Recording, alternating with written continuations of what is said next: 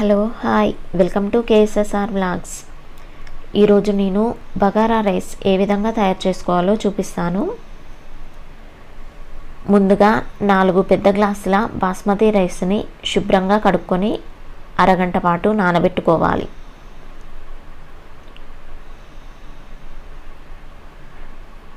ఐదు బిర్యానీ ఆకులు half table spoon సాజీరా ఐదు చెక్క ముక్కలు పది లవంగాలు నాలుగు యాలకులు రెండు జాజికాయ పువ్వుని తీసుకోవాలి. ఆ తర్వాత స్టవ్ వెలిగించి ప్యాన్ పెట్టుకొని అది వేడయ్యాక రెండు టేబుల్ స్పూన్ల ఆయిల్ని వేసుకోవాలి.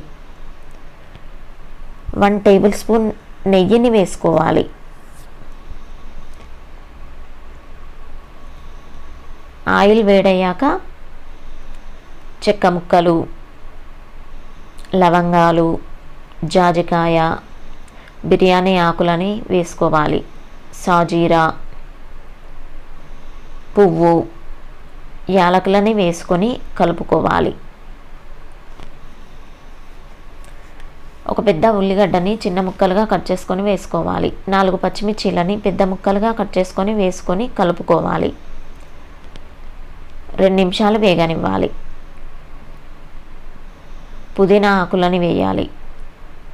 కొద్దిగా కొత్తిమీర క్యారెట్ ముక్కలను వేసుకొని కలుపుకోవాలి. ఒక పెద్ద ఆలుగడ్డని చిన్న ముక్కలుగా కట్ చేసుకొని వేసుకొని కలుపుకోవాలి. బీన్స్ క్యాలీఫ్లవర్ని కూడా వేసుకోవచ్చు. హాఫ్ టేబుల్ స్పూన్ అల్లం వెల్లుల్లి పేస్ట్ని వేసుకోవాలి. రుచికి తగినంత సాల్ట్ని వేసుకోవాలి. మొత్తం మిక్స్ అయ్యేలాగా కలుపుకోవాలి. మూత పెట్టి ఐదు నిమిషాలు వేగనివ్వాలి.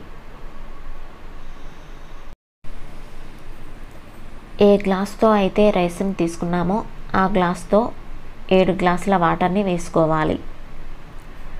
రైస్ని వెంటనే కడిగి వేసేవారు ఎనిమిది గ్లాసుల వాటర్ని వేసుకోవాలి. కలుపుకోవాలి. సన్నగా తరిగిన కొత్తిమీరని వేసుకొని కలుపుకొని స్టవ్ని హై ఫ్లేమ్లో పెట్టి మూత పెట్టి వాటర్ని మరగనివ్వాలి. ఈ విధంగా వాటర్ మరుగుతుండగా ముందుగానే నానబెట్టుకున్న బాస్మతి రైస్ని వేసుకోవాలి. ఇంట్లోని రైస్తో చేసేవారు వన్ అవర్ ముందు నానబెట్టుకొని ఒక గ్లాస్కి రెండు గ్లాసుల వాటర్ని వేసుకోవాలి. కలుపుకోవాలి. మూత పెట్టి పది నిమిషాలు ఉడకనివ్వాలి.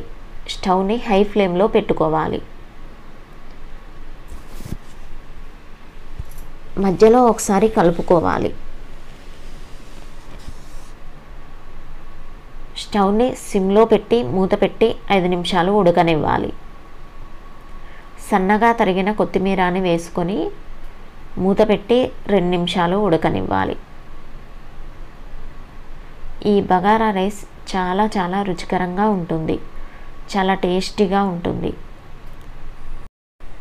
చాలా సింపుల్గా ఈజీగా తక్కువ టైంలో చేసుకోవచ్చు.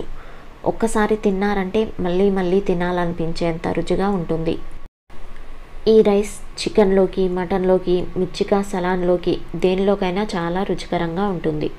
ఒకసారి మీరు కూడా ట్రై చేసి చూడండి. ఈ వీడియో కనుక మీకు నచ్చినట్లయితే లైక్ చేయండి. ఫ్రెండ్స్కి రిలేటివ్స్కి షేర్ చేయండి. మా మరిన్ని సింపుల్ అండ్ టేస్టీ రెసిపీస్ కోసం మీరు మా ఛానల్ని తప్పకుండా సబ్స్క్రైబ్ చేయండి. Thanks for watching. Thank you.